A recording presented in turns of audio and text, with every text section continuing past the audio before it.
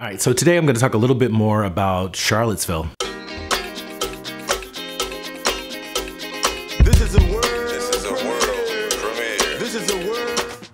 So anyway, there was lots of feedback, but I'd have to say that there was a surprising number of comments where people were really questioning where the blame might lie in the events which took place on Saturday. I mean, it really depends on what you're talking about when you're talking about blame. If you're talking about, for example, the actions that an individual takes when they decide to drive a car into a crowd of people, the blame lies ultimately with that individual, right? Making the decision to do what it was that they did. You have people trying to question the city and whether or not they succeeded or attempted to prevent the event from taking place in the first place. You have people questioning the counter protesters, saying that their presence is what ultimately incited the violence that took place. You have individuals questioning the plans to remove the statue in the first place, saying that if they hadn't done that, then there wouldn't have been a protest to begin with.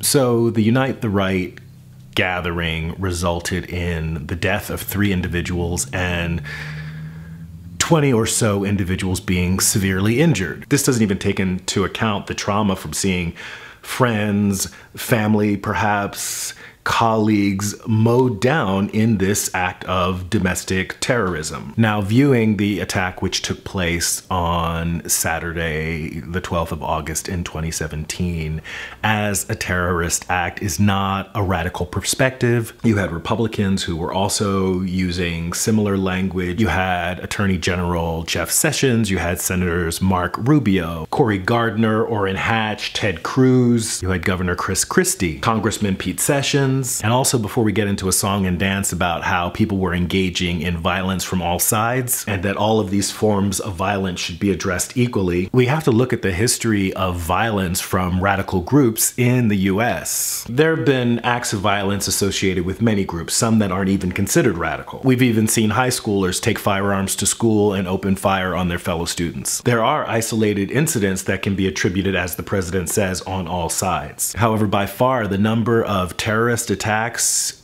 on the US killing US citizens have been attached to groups connected to the far right and often attached to white supremacist groups. Back in June of 2017, the Huffington Post posted an article tracking the number of terrorist attacks on the US. They found that of the 200 terrorist attacks on the US, over half of them had been committed by right-wing groups. A little over 25% were performed by Islamic extremist groups. Left-wing extremist groups were responsible for about 10% of these attacks. I think we have to focus on where the real problem seems to lie. So while this administration continues to focus on the trans community, Islamic terrorism, or immigration, it ignores this one major threat to the safety of US citizens. Kind of in the same way the administration denies climate change. It's like we have have a leadership that's completely out of touch with reality. A recent PBS report reveals that we have seen on average 300 attacks inspired by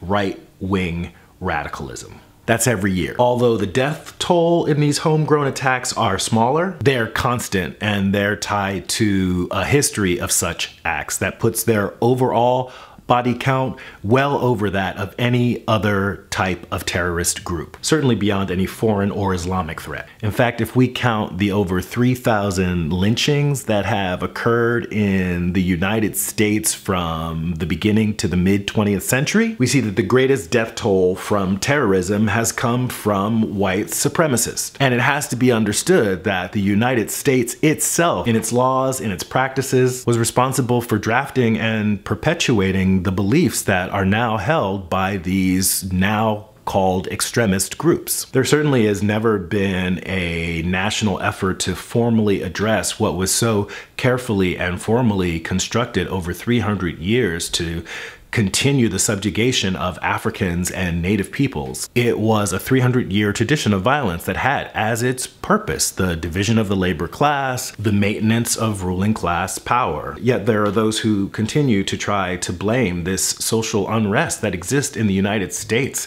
somehow on the regressive left or social justice warriors or some war on free speech. Now, this isn't to say that there aren't violent elements, extreme elements, criminal elements on the left, but the numbers just don't add up. Now, this isn't saying that everyone who holds conservative views is somehow responsible for the actions of this radical few. But it does seem reasonable to ask for those on the right to clarify their opposition to such actions and also to take care that they're not being apologist for these groups. I get the feeling from the responses, from the questions, the comments that people are leaving on this channel that somehow people are seeing the response to this unchecked history of white supremacy uh, as the justification for that same history of white supremacy. It's like this which came first, the chicken or the egg? When if you look at the situation reasonably, this system of white supremacy has existed again for 300 years, and the fact that people are now starting to respond to it in ways that